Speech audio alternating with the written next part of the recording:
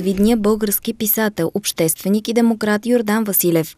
Първият редактор на Вестник Демокрация почина на 81 годишна възраст. Какво да кажа? Тъжен ден, но отиде си един прекрасен човек, истински седесар, първият главен редактор на Вестник Демокрация.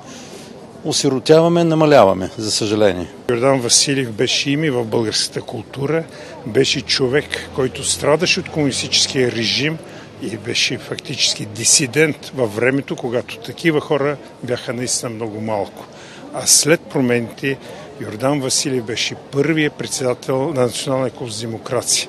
Аз бях в ръководството на Националния клуб, сега продължавам да бъда негов редови член, но не можех да не дойда и с голямо уважение и преклонение пред Йордан Василев да го изпратя в неговия последен път. Политическата му дейност е свързана с СДС.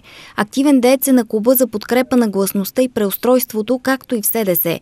През януари 1990 година е натоварен от ръководството на партията да бъде главен редактор на новия вестник Демокрация, първият брой на който излиза на 12 февруари същата година.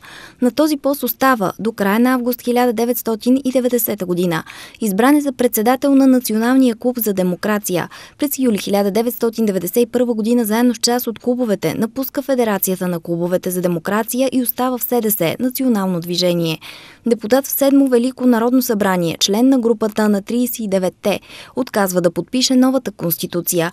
Депутат е в 36-то Народно събрание, където е председател на Комисията за национална сигурност. Един от малкото принципни български политици. Отказва се от председателското място в комисията поради факта, че трябвало да участва в заседание на Консултативния съвет за национална сигурност към президента, в който който по право участва и съпругата му Блага Димитрова, която по това време е вице-президент. Йордан Василев пише редица книги за президента Петър Стоянов. Това се случи пред очите ми и за съпругата си Блага Димитрова. Блага, така я помним.